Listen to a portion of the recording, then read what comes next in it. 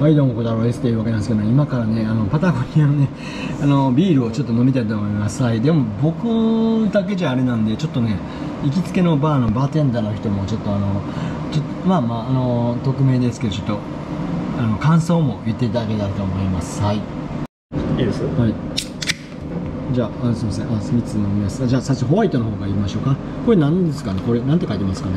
これ。ウィートエールじゃないですかね。あそうなんですか。これ3人で飲みました3人で飲んでね匿名でパタゴニアのなんか感想を入れたらと思います。はい。いいですね。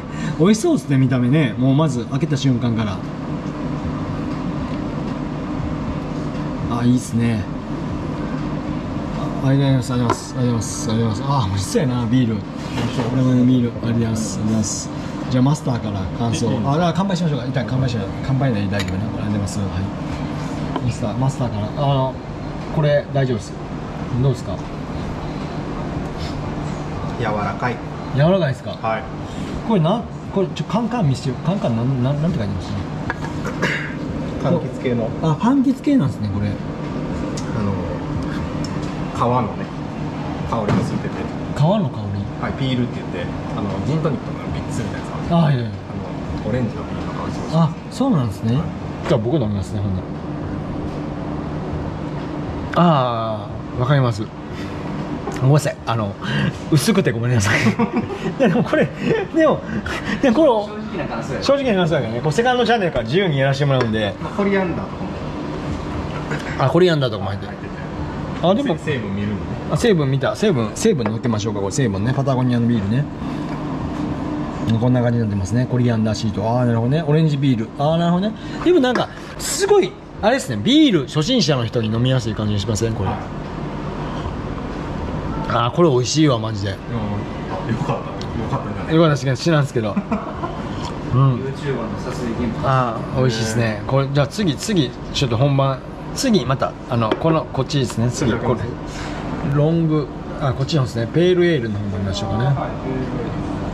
あ言わん方がいいです。発泡酒だから。これ発泡酒なんですかこれ。まあこれも発泡酒ですけど実はあこれ発泡酒なんですか？あのねっていうのはなんか日本のビールの規格っていうか規定ってめっちゃ厳しくって、はい。海外でビールとして売られてるもんって日本に入ってきたら大体発泡酒になっちゃうんですよ。あそうなんですか。ああ4.0%とかありますね発泡まあ、度ね数もそうですし、あの大麦の麦芽の量とかああなるほどね。あほんとかで全然変わっちゃうんあで発泡酒でありますね。そうあの分類種別は発泡酒になっちゃったりしますね。海外やったらビールなんですか？全然ビールです。ああなるほどね。あそういうことがパタゴニアに売ってるビールは。あなるほどですねあえー、あー勉強だなま素人じゃ分からへんな。これはもう完全にビール飲んでましたけど。だから日本でビールでこの味を出そうとすると難しい。そうなんですよね。ここまで薄く作れないっていう、あバドワイザーとかあのクワーズっていうビールがアメリカにあるんですけどそのあたりの感覚に近いかもしれないですへねえ美味しいですね。これでも十分。美味しい。十分美味しい。本当にあのあの変な言い方ジュース感覚で飲めはいちゃう、食前酒にちょうどいい。ああなるほどね。さらっとしてるしありがとうございます。あ次あれです入れますよ。あこれ青いやつですか？あすみません。青いやつです。これ青いやつなんですかこれ。これはペールエールペールエールですか？パタゴニアの青いやつですね。このこれがまあ見たらまあまあ。あのまあまあちょっとしょマスターがちょっと軽い感じでちょっと感想言ってもらいますね。うんあちょっとあ常連さん常連さんも常連さんもあ常連さんも常連さんああこっちモザイクモザイクは入れますごめんなさい。ねちょっと映ったらモザイクは入れます感じ飲んでいいんですか、うん飲みましょう。あ乾杯しましょうか。乾杯。です。おはようございます。あーでもちょっと濃いですねやっぱり。飲み応えありますね。苦味もし。ああ飲み応えありますね、はい。苦味も強いしホップも効いてますね。本文聞いてますね、はい。これこれも発泡酒なんですか？これ法律的に。うん分類種別はそうなると思いまあすね。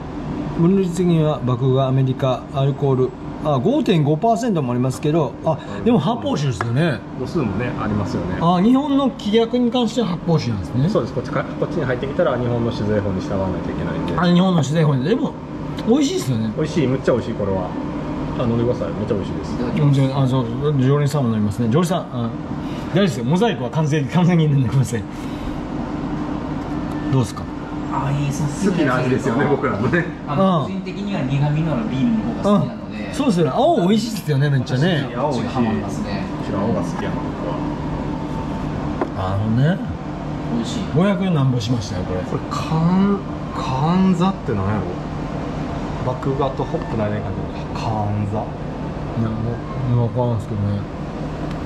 グロカンザグロねもうなんか。ただ苦いだけじゃなくてその酸味とかフルーティーあそうそうそうそう。あそうっすよね。あでも非常に飲みやすいですようわ。カンザってあ。穀物なんですって。へえ小麦と一見似ているが種のサイズが小麦の5分の1どういうあえっていうことは小麦の種類なんですか？っていうことでしょうね。もともと飼料に使われてるんですね。家畜の。でマスター的に言ったらこれどっちが美味しいんですか？僕青に行く。青ですね、はい。私も。青の方がプロっぽいですよね青の方が美味しいですよね。はい。あのビールが好きな人そうですね。上級者向けと初心者向けって感じじゃないですか。ねあなるほどですね。あわかりました。あでもあでもなんかなんかすっきりしましたね。どっちもでも違う美味しさがありますね。美味しかった美味しかったですね。ありがとうございます。まずまあそういう感じでなんかあのこうお酒好きの人とあのプロのバーテンダーの意見を得ましたんでまあそんな感じで締めたいと思います。はい。そんな感じでほなさよなら。あちゃちゃおさあそうそう間違えた。ほなさよなら。